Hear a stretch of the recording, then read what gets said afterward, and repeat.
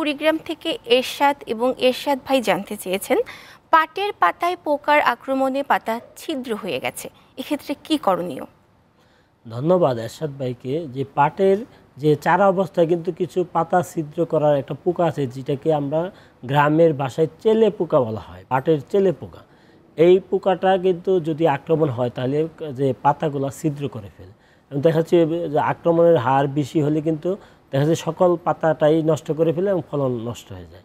তাই এইটা দমন করার জন্য তাকে পরামর্শ দেব যে সে যেন কিছুটা ইপিডিক্লোরাপিড নামের যে ইনসেকটিসাইড আছে, যে আমাদের কিছু কীটনাশক আছে যেটা পরিবেশ বান্ধব, জৈব বালাইনাশক বলা হয়।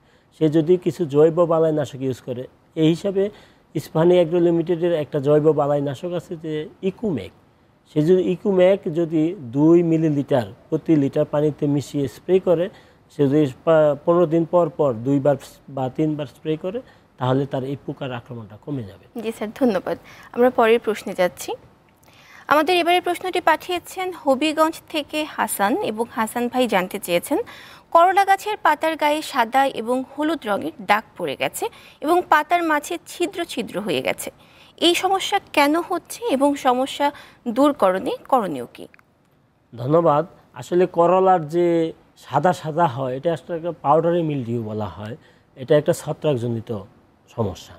এখানে ছত্রাকজনিত সমস্যাটা কিন্তু হয় আমাদের যদি এই যে করলা গাছ তো মাচাই করে করা হয়, অতিরিক্ত পাতা হয়ে গেলে অথবা নিচে আগাছা যদি থাকে, তাহলে কিন্তু করলা গাছে বা যে কোনো গাছেই ছত্রাকের আক্রমণটা বেশি হয়। তাই আমি তাকে পরামর্শ দেবো, সে যেন যদি যেই পাতাগুলা রোগাক্রান্ত, ওই পাতাগুলা সংগ্রহ করে ফেলে। সংগ্রহ করে এটা ধ্বংস করে দেয় এবং যেন সে যেন ইউরিয়া সার যেন প্রয়োগ এখন না করে। কারণ ইউরিয়া সার প্রয়োগ করলে কিন্তু তার পাতার সংখ্যা বেড়ে যাবে। ভেজিটেটিভ গ্রোথ বেশি হবে, তখন তার এই যে, এই ছত্রাকজনিত সমস্যাটাও বেড়ে যাবে। তাই আমি তাকে পরামর্শ দেব, সে যেন তার- তার রোগাক্রান্ত পাতাগুলাকে সংগ্রহ করে নষ্ট করে ফেলে, আর ইউরিয়ার উপর প্রয়োগ যেন এখন বন্ধ রাখে। জি স্যার ধন্যবাদ।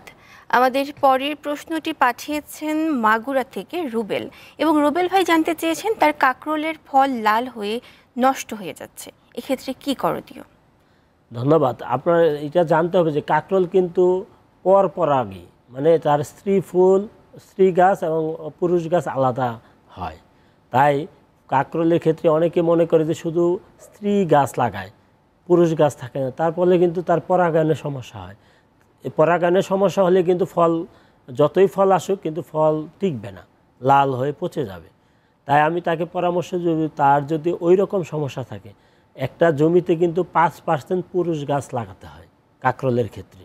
যদি সে যদি বিশটা গাছ লাগায়, তাহলে অবশ্যই একটা গাছ পুরুষ গাছ থাকতে হবে। তাহলে তার সম পরিমাণে যে পরাগায়ন, ওটা হবে। আর যদি তার যদি পাঁচ পার্সেন্ট গাছ না থাকে তাহলে তার কিন্তু পরাগায়ন যেহেতু সঠিকভাবে হবে না, তার ফল কিন্তু নষ্ট হয়ে যাবে। তাই তাকে যদি পরামর্শ দেবো, তার জন্য পুরুষ গাছ যেন পর্যাপ্ত পরিমাণে থাকে তার জমিতে। আর যদি পুরুষ গাছ থাকার পরও যদি যে ফল পচে যায়, তাহলে বুঝতে হবে যে এখানে একটা মাছি পোকা, যেহেতু কিউকারবিটিসির একটা ফসল, এখানে মাছি পোকার আক্রমণ হতে পারে। মাছি পোকা কী করে যে গাছে ফলে ছিদ্র করে ফেলে।